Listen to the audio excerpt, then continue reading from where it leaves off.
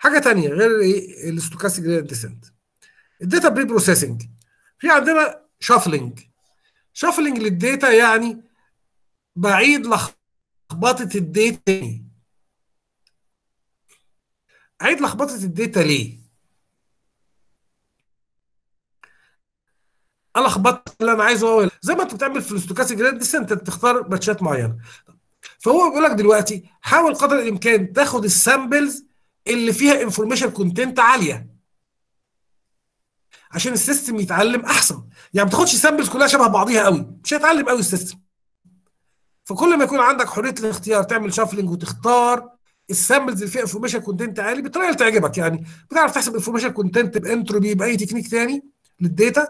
أهم حاجة وأنت بتختار ال samples بتاعتك اختارها maximum information content عشان ال system يتعلم أحسن.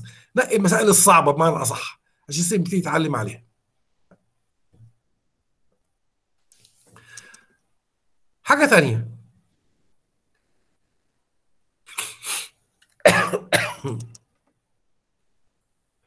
لو انت كنت مختار sample شبه بعضها هتلاقي ال gradient اللي عندك سمول ما بقاش فيه gradient قوي. انت كل ما ال gradient كبر كل ما انت بتجري أسرع في ال training لكن طول ما ال gradient صغير هتلاقي الانسان شبه بعضيها فال gradient يبقى قليل. هتلاقي انت عامل slower learning فال system مش هيتعلم بسرعة قوي.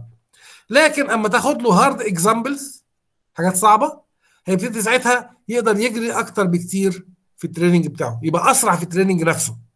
من عدد ال samples هي هي بس في samples بتحركك بسرعة تخليك تجري في samples بتلاقيك انت إيه ما بتستفدش جديد. زي اللي قاعد في شركة ثلاث سنين بيعمل نفس الشغل كل يوم. آه هو قعد ثلاث سنين صحيح زي زميله بس هو ما بيتحركش كتير لقدام ما بيشوفش حاجة جديدة. بينما اللي بياخد حاجة جديده أكتر بيزق لقدام كتير. بس طبعا تاخد بالك ما تقعدش بقى ادور على ال hard samples تروح منقي ال outliers اللي في ال data وتقول هي دي. يبقى أنت بتعلم ال system على ال outliers اللي هي ال data الشواذ اللي فيها أخطاء في ال data بتاعتك عشان بعيد عنهم يعني. فلا يعني تبقى تاخد بالك برضو قدر الإمكان لو تعرف تشيل ال outliers بأي تكنيك تشيلها. وبعدين تبتدي تاخد المسائل الصعبة تدخلها على ال system بس ما تكونش outlier يعني. فده بيفرق كتير في نتائج الموديل بتاعك مع إنه نفس الموديل لكن لو أنت قدرت تعمل shuffling وتختار ال data كويس وأنت بتشتغل في ال SGD stochastic gradient descent تدي نتائج معاك أحسن كتير. حاجة ثانية في ال data preprocessing ال data اللي داخلة يفضل بشدة تعمل لها normalization يعني إيه normalization يعني تخيل ال data اللي عندك كانت ال range ات بتاعتها ادي ال vector بتاعه اللي انت بتدخله. أنا بدخل خمس ارقام أو أربع ارقام اهو ده ال input بتاع ال neural network. الارقام اللي هنا بتتغير من 0 إلى 5 الارقام اللي هنا بتتغير بالسنتيمتر مثلا من 100 إلى 500 وقس على ذلك. في الآخر الأرقام دي كلها بتخش تتضرب في weights وتتجمع.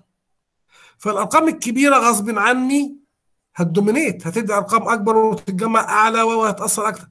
ساعتها أما الخمسة دي تتضرب في اثنين تبقى 10 ما فرقتش كتير إن إيه كأن ال 100 بقت 110 وبالتالي مش هيحس بالتغييرات الصغيرة.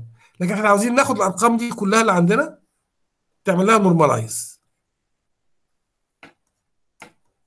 في طرق كتيرة normalization نقي لك طريقة منهم بحيث يبقوا في الآخر كلهم كأن ال weight بتاعهم واحد. مش واحد منهم يقول أصل أنا خريج تجارة أنا جايب 19 من 20 طب التاني جايب مش عارف مثلا 97 من 100 يقول لك آه لا يبقى أنا أحسن منك. ده أنا ناقص درجة واحدة. بس الدرجة دي من 20 بينما ناقص ثلاث درجات من 100 فدي قصة ال normalization فلازم تبقى تتأكد إن ال data normalized فال normalization مهم قوي. غالبا بينورماليز على الميو والسيجما بتاعت الداتا. بتتحسب بطريقة سهلة. x ناقص mu على سيجما ده ال variance بتاع ال data أو standard deviation بتاعها. مين بتاع كل vector على حدة. تقدر ت normalize ال data بتاعتك قبل ما تدخلها على ال neural network دي نتائج أحسن بكتير. إنك تسيب ال neural تتعلم وال data فيها ارقام صغيرة وكبيره وده المقصود بال normalization. حاجة كمان ال data preprocessing أنت ممكن تعمل في ال data processing ممكن تعمل data augmentation تكتر ال data اللي عندك. أكترها إزاي؟ أفرج الموديل بتاعي. data كتير على سبيل المثال في ال image سهلة جدا. أدي الصورة الأصلية. عندك صورة واحدة أهي. أقدر أعملها flip هي still نفس الضفدعة. تقدر تعمل لها crop crop يعني قص حتة منها. بص هنا طيرت حتة من رجلها اللي كانت موجودة هنا. ممكن تطير حتة من هنا. ممكن وات بقى بتطير إيه. المهم في الآخر بتعمل إيه؟ random cropping مختلفة. ممكن تلعب في ال contrast زي ما أنت شايف هنا. في contrast ما بين الاثنين دول واحدة تكون بهتانه عن الثانية شوية. ممكن تلعب tint. tint تلعب في التشبع اللوني بتاع درجات اللون.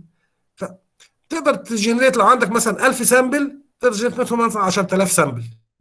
يوم ال system يشوف data وفيها معلومات مختلفة. يعني بالنسبة له ال matrix اللي بتفك فيها الصورة دي وال matrix بتاع الصورة دي اثنين matrix مختلفين خالص عن بعض. فال system بيتعلم بجد.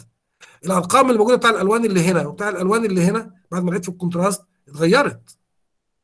فده ده اللي مقصود بيها إنك تعمل إيه؟ data augmentation طبعا ال data augmentation تبقى حريص إن ما تغلطش.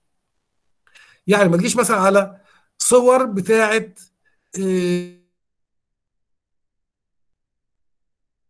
في حاجة طبية.